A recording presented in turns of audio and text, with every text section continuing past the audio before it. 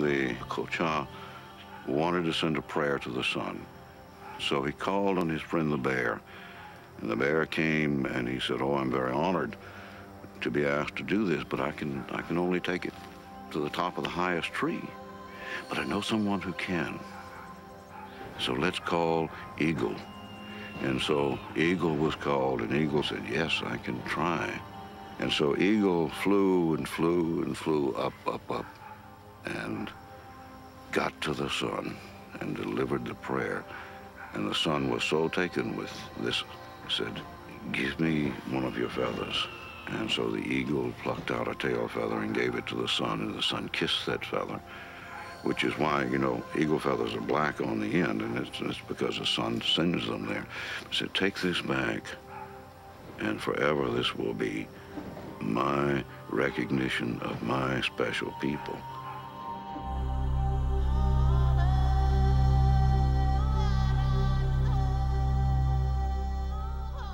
Along the Mississippi River, six miles from present-day St. Louis, Missouri, there stood a city that once dominated the heart of the continent. At its center was a powerful leader. A great number of years ago, there appeared among us a man who came down from the sun. This man told us that he had seen from on high that we did not govern ourselves well, that we had no master, that each of us had presumption enough to think himself capable of governing others, while he could not even conduct himself. A thousand years ago, the great sun, a leader who was both king and pope, lived atop a man-made royal mountain, 10 stories high. Its 16-acre base larger than any pyramid in Egypt. He told us that in order to live in peace among ourselves, we must observe the following points. We must never kill anyone but in defense of our own lives. We must never know any woman besides our own. We must never take any things that belong to another. We must never lie, nor get drunk. We must not be avaricious. We must give generously and with joy and share our subsistence with those who are in need of it.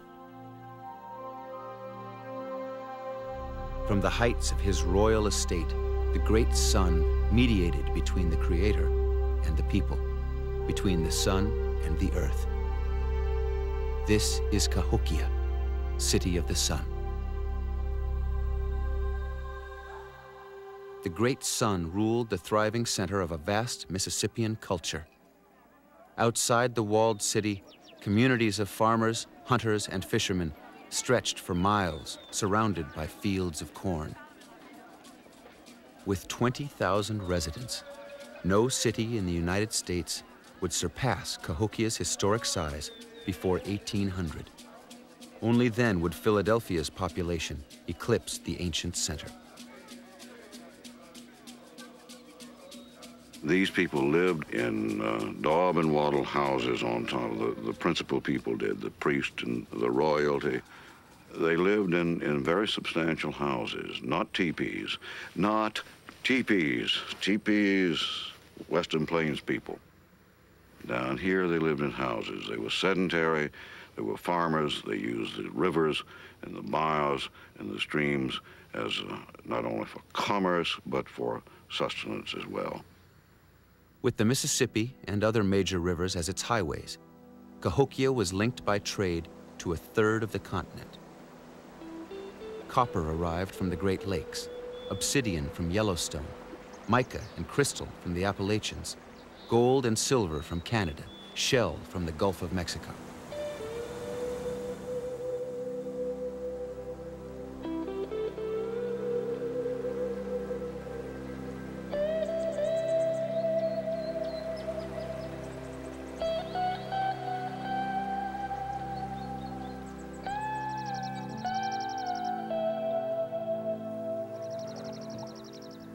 Look at these old live oak trees that have seen so much pass by them. Magnificently dressed Indian people coming down that bayou in a dugout, uh, greeting people, standing right here on this bank of having a good time because they did. You know, Indian people have always known how to have a good time. And there would be a feast prepared. The women would put the corn together. They'd make sofki. Um, they would roast a deer. The people would bring gifts. You never go to an Indian's house without bringing something. That's as old as the sunrise.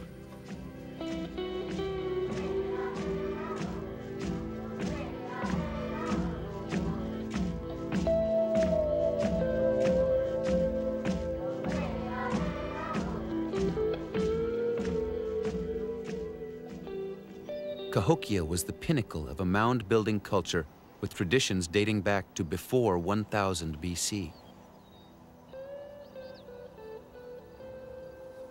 Thousands of mounds still dot the landscape from the Great Lakes to the Gulf of Mexico. An average funeral mound in the Ohio Valley was three stories tall. Construction could represent 200,000 man-hours of labor, or 100 men carrying the baskets of earth for a year. But few mounds compare with the religious effigy located 50 miles east of Cincinnati, Ohio, the Great Serpent Mound. The enormous snake stretches over 400 yards in length. While their earthworks are the mound builders' most visible legacy, their smaller creations are their most beautiful.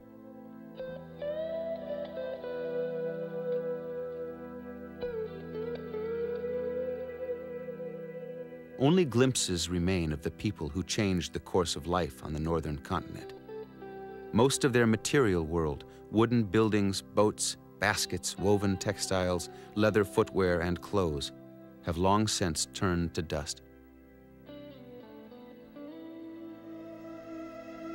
An old Caddo relative of mine said that I used to go outside and, and hold my hands up and, and bless myself with the sun, a hot, I can't do that anymore because they say we sun worshipers. So we didn't worship the sun. We worshiped what was behind it, the power behind it.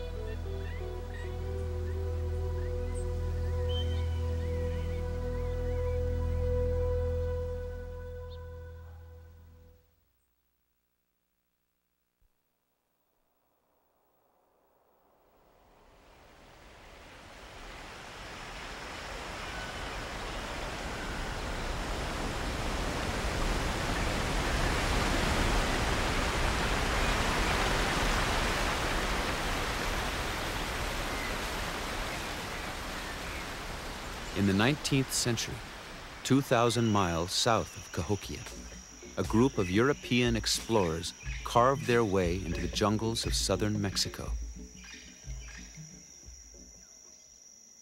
There, buried for centuries and surrounded by massive pyramids, they came upon a royal palace, resplendent with grand rooms, courts, and a tower. The Europeans recognized that by their own standards, the site was a legacy of greatness. Standing in the middle of the largest Indian nation in North America, the Maya, descendants of the pyramid builders, the explorers could not imagine that the towering architecture was the work of Indian people. Instead, they speculated wildly about the lost civilization that could have built so grand an existence. Refugees from the sunken continent of Atlantis, a lost tribe of Israel, seafarers from the Orient, even beings from another planet. They considered everything but the obvious. In 1949, a Mexican archaeologist came to the same magnificent ruins, now known as Palenque,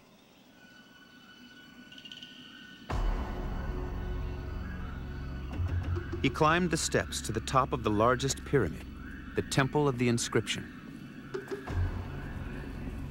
There he noticed holes in the floor below the capstones. He removed the slabs, and discovered a rubble-filled passageway descending deep into the pyramid's heart. After three years of excavation, the passage was cleared. At the bottom was a tomb that had been buried for over 1,200 years. It would unlock the history of Palenque and help to reveal the past of the Mayan people, a past they left for the future to read. For centuries, Mayan glyphs were considered complex picture stories like Egyptian hieroglyphics. Only in the 1980s did archaeologists finally recognize that it was true writing. They were not looking at pictures to be interpreted, but symbols for sounds to be read. It was the Maya language. Instantly, a door was opened on the past. Beneath the five-ton sarcophagus cover at Palenque, lay Pakal, shield in the Maya language. He was born in 603 AD. His head was bound at birth to enlarge his forehead, a fashion that marked him as a member of the royal elite. He wore a cosmetic bridge on his nose and decorated his hair with water lilies. Pakal rose to power at the age of 12 he would build a holy city and rule for nearly 70 years, leading Palenque during a time of greatness and growth in the Mayan world.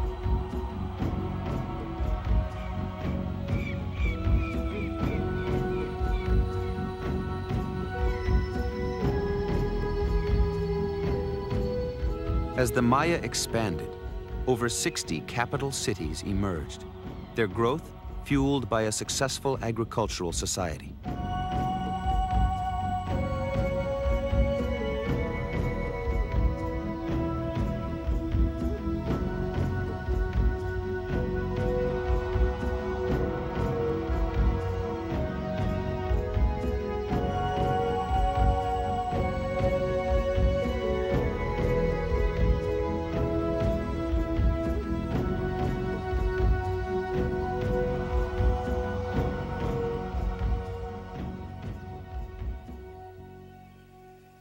Roots of Mayan agriculture reached back thousands of years and stretched across Mexico and into Central America.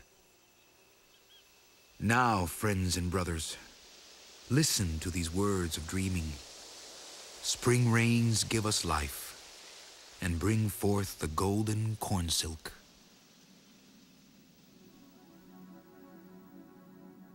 By the time of Christ, there were millions of people in the region with agriculture allowing populations to settle and expand.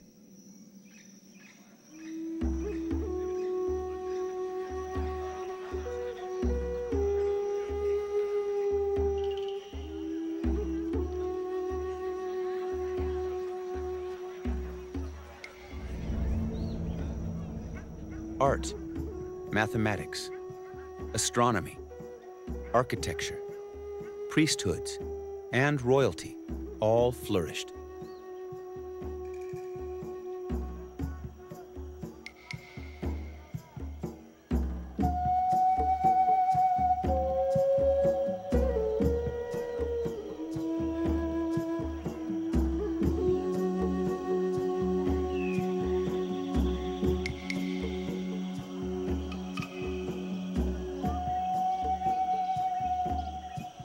By the mid-700s, at Palenque alone, the sons of Pakal ruled over 200,000 Maya living in regional communities of farmers, weavers, stonemasons, and feather workers.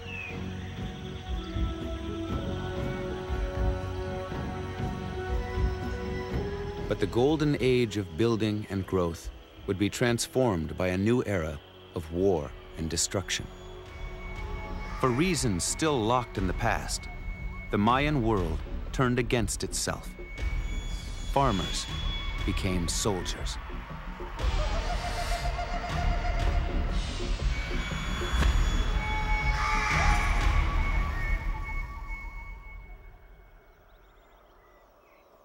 By 800 AD, an era had ended.